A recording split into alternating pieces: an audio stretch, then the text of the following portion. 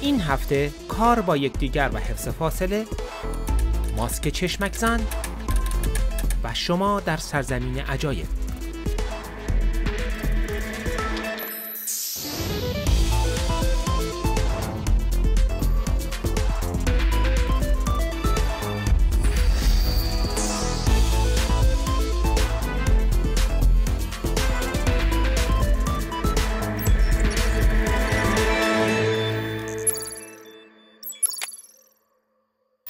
خوش اومدید به کلیک من نیما اکبرپور هستم. این روزا شرایط یه مقدار عادی تر شده یه ریزه. در بریتانیا اگه می‌خواید برگردید سر کار ممکنه مجبور باشید در محل کار یا در حین رفت و آمد ماسک بزنید. در دفاتر بزرگتر کافیه فاصله خودتون از بقیه همکاران حفظ کنید اگر ممکن باشه در بخش بعد می‌خوایم نگاهی بندازیم به بینایی رایانه‌ای و استفاده از اون برای کمک به مردم در حفظ فاصله چه در محل کار چه در حین رفت و آمد. ما در دوره همگیری شاهد نوآوری هایی برای نظارت بر رفت و آمد و فعالیت مردم بودیم که هدفشون توقف شیوع ویروس بود. از جمله استفاده از پهپادهایی مثل دراگون فلای که می‌تونه متوجه سرفه کردن مردم بشه و این دستگاه ساخت کامیو که می‌تونه تشخیص بده مردم ماسک زدن یا نه. استفاده از دوربین، داده و نرم افزار بینایی رایانه‌ای داره روند بازگشت به کار رو تسهیل می‌کنه از جمله سامانه کاملا جدید که در بعضی از شلوغترین ایستگاه های قطار لندن به کار گرفته شده.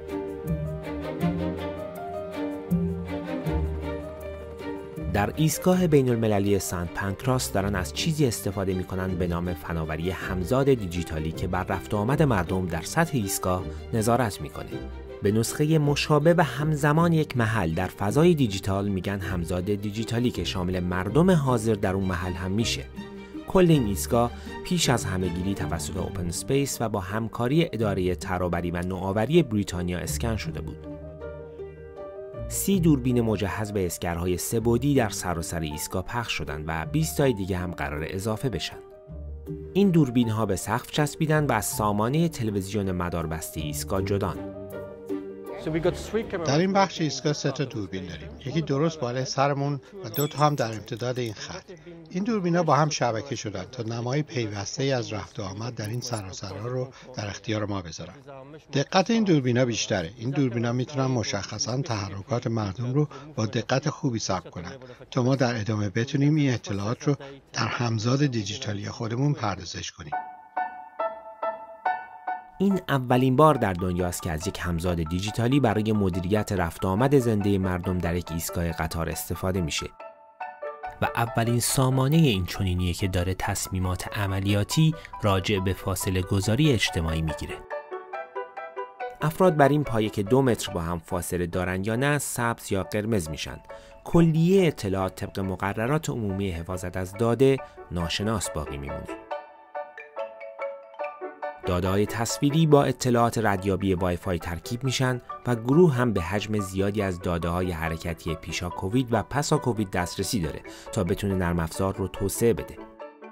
کارمندان ایستگاه در ادامه می‌تونن مردم رو به بخش های هدایت کنن که خلوتتره، جهت حرکت آسانسورها و پله برقی ها رو عوض کنند و با حضور در نقاط شلوغ از مردم بخوان که فاصله گذاری اجتماعی رو رعایت کنند. چیزی که به نظرم برای ما خیلی چالشی بوده جلب اعتماد مسافران بوده جلب اعتمادشون به گام هایی که برداشتیم تا بتونن از ایستگاه ها استفاده کنن و به طرحها و رویه های محکمی که داریم اجرا می کنیم.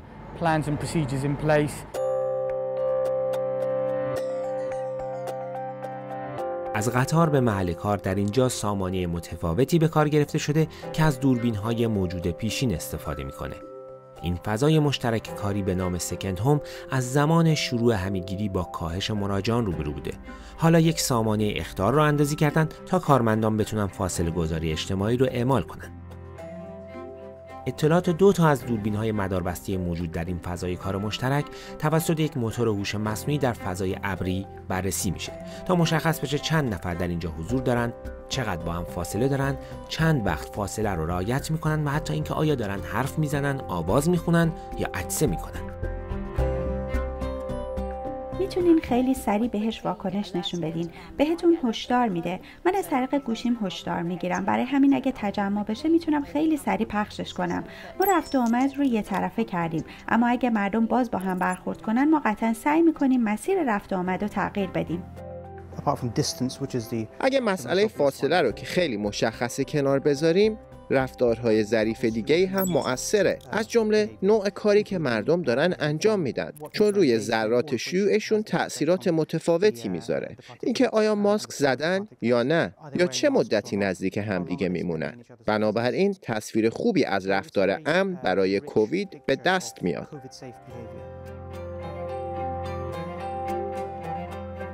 شرکت ها در سراسر دنیا دارن از پیشرفت های به دست آمده در بینایی رایانه استفاده می کنند. آمازون در انبارهاش از تشخیص تصویری و حسگرهای عمق برای اندازهگیری فاصله بین مردم استفاده می‌کنه. کارمندانی که دو متر با هم فاصله داشته باشند با دایره سبز مشخص میشن و اونایی که فاصله کمتر دارند با دایره قرمز. شرکت بینایی رایانه نومینا مسیر حرکتی مردم رو بررسی می‌کنه تا درک بهتری از نقاط شلوغ پیدا کنه. هر تصویر خیلی سریع از شاخصهای انسانی خالی میشه و به مکعبهایی با عناوین ساده تبدیل میشه. رهگذر، خودرو و اتوبوس. ایستگاه سن پانکراس قراره در گام بعدی تعدادی ربات به همزاد دیجیتالی اضافه بکنه. از اونها هم میشه برای نظافت استفاده کرد و هم برای اعمال فاصله گذاری اجتماعی. اینطوری کارمندها هم کمتر در معرض ویروس قرار می‌گیرند.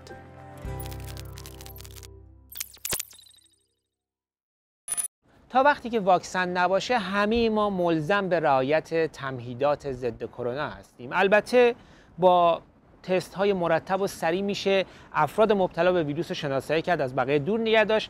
یه مقدار به روال عادی برگشت ولی همه مردم دنیا دسترسی آسون به تست ندارند.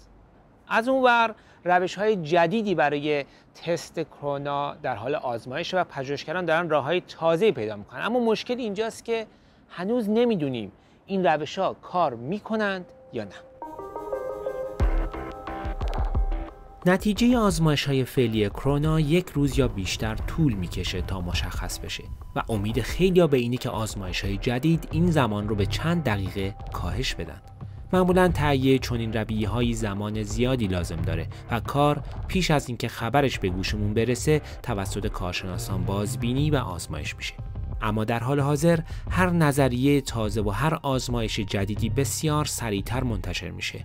این باعث طرح ادعاهایی میشه که خیلی جذاب به نظر می‌رسن و همه ما دوست داریم که درست از آب در بیان. بعضی شرکت ها دارن سعی می‌کنن آزمایش های در جا درست کنن که 20 ثانیه‌ای جواب میده. این یکی داره می‌بینه که میشه از هوش مصنوعی برای تشخیص ویروس در نمونه بزاق استفاده کرد یا نه. بیماران دیگه در بیمارستان ها و خانه های سالمندان از دستگاه های قابل حملی مثل این استفاده می کنند که ظرف 90 دقیقه نتیجه تست دی ای رو مشخص می‌کنه و نیازی به آزمایشگاه نداره. دولت بریتانیا هم داره با این شرکت زیر مجموعه دانشگاه آکسفورد که سازنده این دستگاه کوچیک و بزرگه همکاری می‌کنه که می‌تونن نتیجه آزمایش دی ای یا بزاق رو ظرف 90 دقیقه مشخص کنند. اگه واقعیت رو در نظر بگیریم دیگه فاجعه نیست چون آزمایش بی عیب نیست. بذارین با عدد توضیح بدیم. فرض کنین در هر زمان از هر هزار نفر یه نفر مبتلاست که اتفاقا خیلی شبیه وضعیت الان بریتانیاست. و بذارید فرض کنیم که آزمایش ده درصد نتیجه مثبت اشتباه میده. یعنی از هر ده نفری که آزمایش می‌کنین یه نفر مثبت میشه در حالی که اصلا به ویروس آلوده نیست. یه بار دیگه اعداد رو مرور کنیم.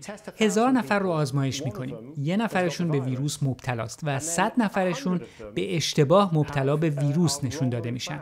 چون ده درصد مثبت اشتباه داریم. درسته؟ یعنی تعداد کسایی که اشتباهی مبتلا اعلام شدن 100 برابر مبتلاهای واقعی این در ظاهر فاجعه است و به نظر می‌رسه که اصلا نمیشه از این اطلاعات استفاده کرد. اما بذارین یه جوری دیگه به مسئله نگاه کنیم. شما حتی پیش از گرفتن آزمایش از مردم فکر می‌کردین که از هر هزار نفر یه نفر به ویروس مبتلاست. اما حالا می‌تونین روی زیر مجموعه از اون افراد تمرکز کنین. مثلا 100 نفر. و می‌دونین که یه نفر از 100 نفر مبتلاست. یعنی بقیه اون 900 نفر احتمالا مشکلی ندارن. اما جایگزین این قضیه اینه که همه رو خونه نشین کنین به همه بگین نمی‌تونن بیرون برن. به همه بگین که نمی‌تونن مدرسه و رستوران برن. خب شاید با همه معایبش این وضعیت بهتر باشه. فقط باید سعی کنین از اطلاعات به درستی استفاده کنیم ما از آمار به عنوان یه ابزار سیاسی استفاده می‌کنیم. می‌دونی دیگه مردم با آمار دروغ میگن و سعی می‌کنن تو بحث با ارائه آمار برنده بشن. در واقعیت آمار یه ابزار برای مشاهده دنیا. دیدن چیزهایی که برای دیدنشون راه دیگه ای نداریم. کار رادار تشخیص بمب هایی که دارن به طرفمون میاد و آمار هم به ما کمک می‌کنه ویروس رو تشخیص بدیم. قصدم اینه که مردم رو راضی کنم که ارقام رو جدی بگیرن بلکه بتونیم واقعیت رو ببینیم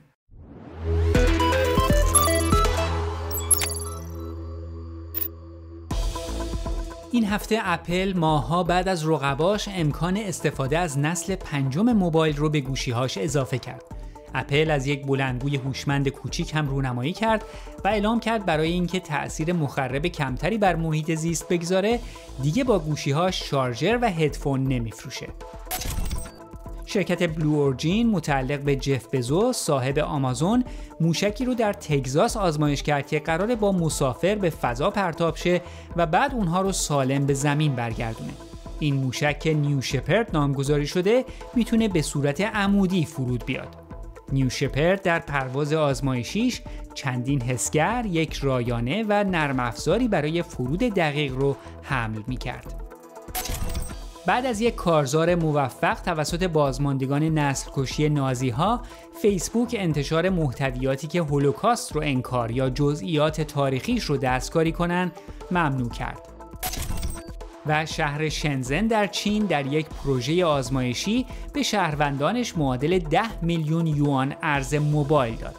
50 هزار شهروند معادل 25 دلار دریافت کردند تا در فروشگاه های محلی خرج کنند.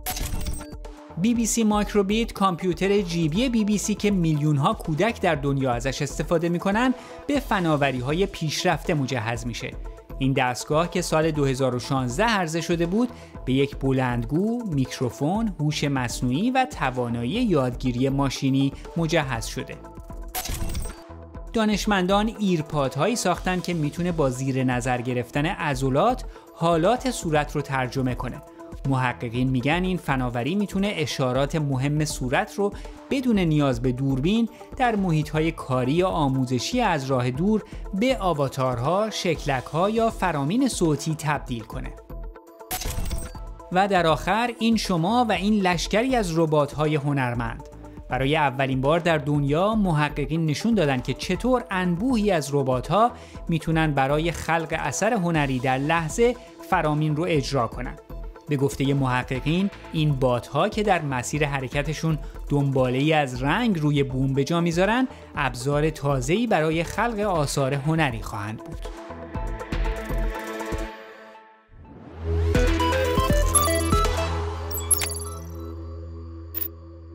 وقتی صحبت از فناوری های پوشیدنی میشه زن اول میره به سراغ دستبند هوشمند، ساعت هوشمند، هدست و امثال هم. اما فناوری و پوشاک یه جای دیگه با هم برخورد می‌کنن با اون صنعت مد و فشن. قبلا توی کلیک به بهانه‌های مختلف سراغشون رفتیم.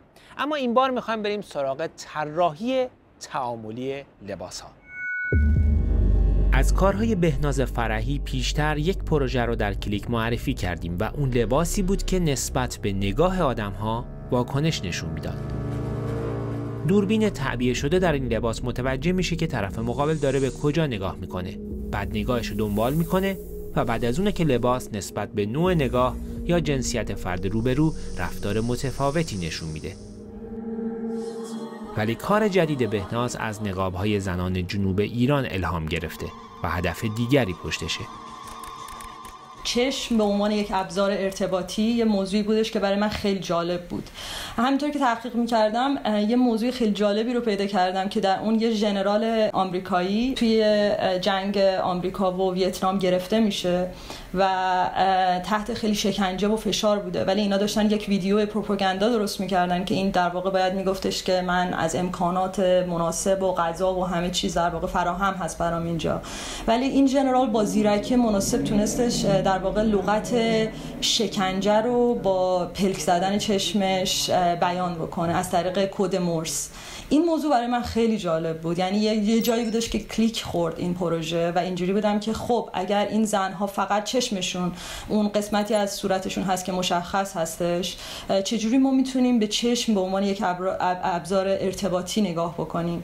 و این اینجایی بودش که برای من جالب شد که خب از هوش مصنوعی استفاده بکنم برای اینکه بتونم یک زبان رمزآلودی رو ایجاد بکنم که این زنها بتونن در واقع احساسات خودشون رو بیان بکنن. یا بتونن یک وسیله ارتباطی بین این زنها باشه.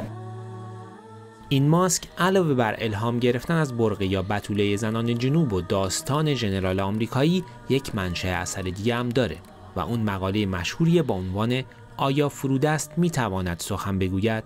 بر اساس مقاله گایتری اسپیواک که یک تئوریسین و فمینیست هندی هستش در واقع این این هوش مصنوعی بر اساس اون ترین شده یعنی یاد گرفته و در هر لحظه این سیستم می‌تونه یک جمله رو ایجاد بکنه. جمله تبدیل به کد مورس میشه کد مورس تبدیل به حرکت اکچویترها میشه و اینجوری هستش که ارتباط بین یک ماسک با ماسک دیگه مخابره میشه و از طریق چشمک زدن در واقع اینها می‌تونن پیام خودشون رو از یک ماسک تو ماسک دیگه بیان بکنن. بهناز در ساخت کارهاش از وسایل معمول توی بازار استفاده می‌کنه و در مواردی اونها رو باز می‌کنه و تغییرشون میده. برای دنبال کردن حرکت چشم و حالات چهره از دوربین، حسگرها و ریز پردازنده های مختلف و سامانه های بینایی کامپیوتری استفاده می‌کنه.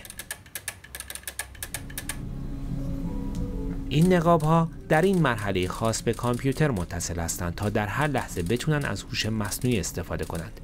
جمله ها در لپتاپ پردازش و به ریز پردازنده نقاب ارسال میشن تا اونها رو به کد مورس تبدیل کنه. 18 تا عملگر مکانیکی روی نقاب که به طور اختصاصی طراحی شدند اطلاعات را از ریز پردازنده می‌گیرند. علاوه بر این حسگر خیلی کوچیکی در اندازه نزدیک به دو میلیمتر در داخل نقاب و بالای چشم است که می‌تونه حرکات پلک رو بررسی کنه تا اون هم تبدیل به پارامتری تاثیرگذار در شیوه حرکات هر یک از این عملگرهای مکانیکی بشه. اما سوالی که پیش میاد اینه که این طور طراحی ها در دنیای واقعی و در صنایع و پوشاک مصرفی روزمره مردم هم نمودی داره یا تأثیری در زندگی واقعی مردم می‌ذاره؟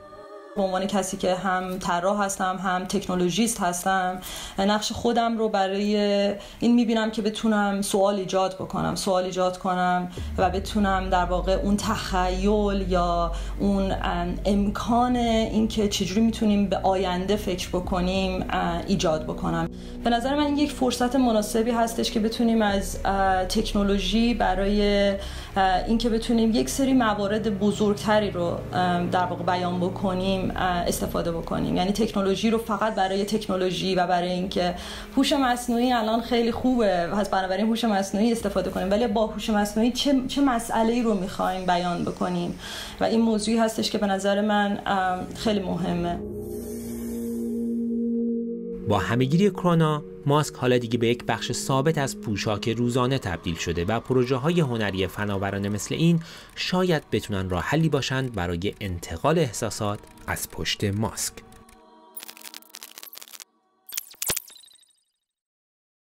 وضع سالن های نمایش از ماه مارس تا الان خیلی بد بوده. حالا که بازیگرها نمی‌تونن رو صحنه برن فناوری داره تلاش می‌کنه تا جای خالیشون رو پر کنه. اما آیا می‌تونه جایگزینی برای هیجان اجرای زنده پیدا بکنه؟ آلیس یک شهر بازی مجازیه. در واقع یک نمایش سبودی و در برگیرنده است و هزار می‌تونن به خاطر همهگیری کووید 19 از خونه و در بستر زوم ازش لذت ببرن. این نمایش نتیجه همکاری بین سه شرکت کریشن، Big Telly و Foxdog با شرکت فناوری Charisma AI یه.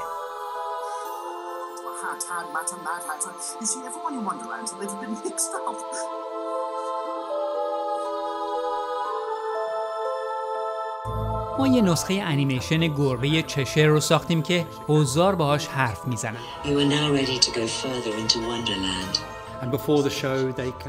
و قبل از نمایش می‌تونن باهاش حرف بزنن. لاس بزنن. تا حالا دو سه نفر خواستن باهاش برن بیرون. کار دیگه ای که ما می‌کنیم اینه که زوم رو می‌بریم تو هیته بازی های رایانه یعنی همه این قاب هایی رو که تو کنفرانس های ویدیویی داریم جدا می‌کنیم و می‌بریم توی موتور بازی سبودی شما می‌تونین پیش از خزیدن تو سوراخ خرگوش و رفتن به سرزمین عجایب برای بقیه هزار دست تکون بدین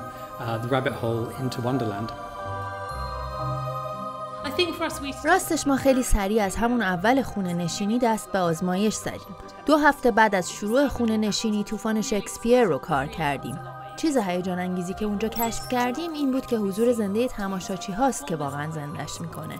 هم اجرا زنده است و هم تماشاچی ها لحظاتی هست که می‌تونین همدیگر رو ببینید خیلی از اجراهای ما پیش از خونه نشینی در مکانهای مشخصی بود. جابجا جا می شدیم تماشاچی ها رو در گروه های کوچیک به چالش میکشیدیم. عین فیلم زنده یا بازی زنده است و فکر می‌کنم همهگیری برای ما فرصت ایجاد کرده تا آدم ها رو ببریم داخل یه دنیای مجازی.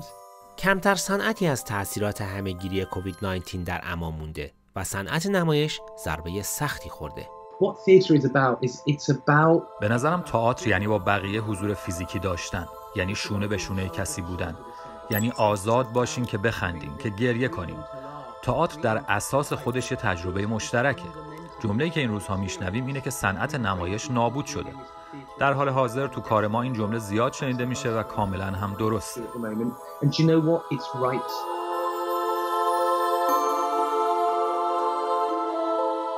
طبق برآوردها های نمایش سالانه از فروش بلیت یک و 28 دهم میلیارد درآمد دارند. دولت بریتانیا حالا اجازه داده که اجرای نمایش در های بسته با رعایت فاصله گذاری اجتماعی دوباره شروع بشه. اما های نمایش عمدتا برای اینکه سود بکنن باید کاملا پر باشند و این کار با قوانین فاصله گذاری اجتماعی ممکن نیست. چند تا از سالن های نمایش لندن قصد دارند که به زودی کارشون رو آغاز کنند و بعضی هاشون مثل این یکی در جنوب لندن با تماشاچی کمتر اجراها رو شروع کردند. با این حال هزاران نفر از کسانی که در صنعت نمایش مشغول بودند بیکار شدند. آیا فناوری پشت جلسات ویدیویی می‌تونه واقعا مشکلات این حوزه رو رفع کنه؟ کارگردان ما در ایرلند شمالیه یکی از بازیگرانمون در جمهوری ایرلند و بقیه هم در سراسر کشور پخش شدن همه توی خونه هاشونن و برای همین پرده سبز زدن. ما مجبور شدیم در زمانی کوتاه برای این شرایط یه روند تمرین مناسب پیدا کنیم. بچه های تاتری خیلی دوست دارن بگن جریان باید ادامه پیدا بکنه. اما با وجود این همه فناوری های مختلف اجرای یک نمایش بدون هیچ مشکلی اصلا کار ساده ای نیست ما آزمایش می‌کنیم حدس می‌زنیم. به کارمون شک می‌کنیم. سرورها رو دو برابر در نظر می‌گیریم. به خونه بازیگر دو تا خط اینترنت وصل می‌کنیم و برای پشتیبانی از بازیگران روی صحنه برنامه میریزیم.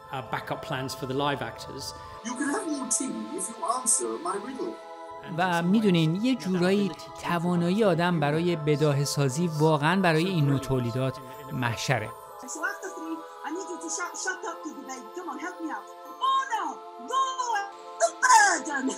But uh, don't worry, I'm gonna do what my mom Come on, I want to see you dance better than this. Pick up your knees.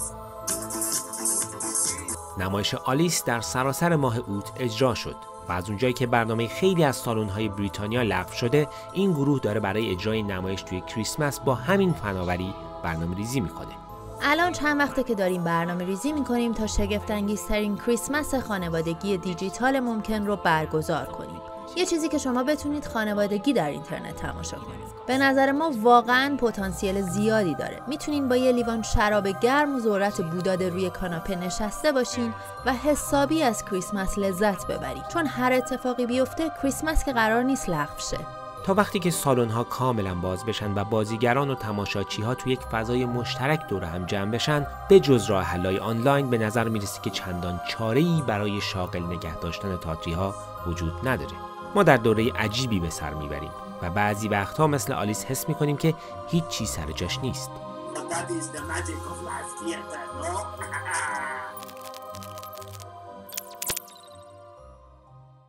خب به پایان برنامه هفته کلیک رسیدیم. تکرار این برنامه رو در وبسایت ما ببینید. به نشونی bbcpersian.com Click یا از طریق یوتیوب بی بی سی فارسی تماشاش کنید. برنامه قبلی ما اونجا در دسترس هستند. با ما در تماس باشید. از راه توییتر با شناسه‌ی Persian Click ممنون از همراهیتون. تا برنامه بعد بدرود و خدا نگهدار.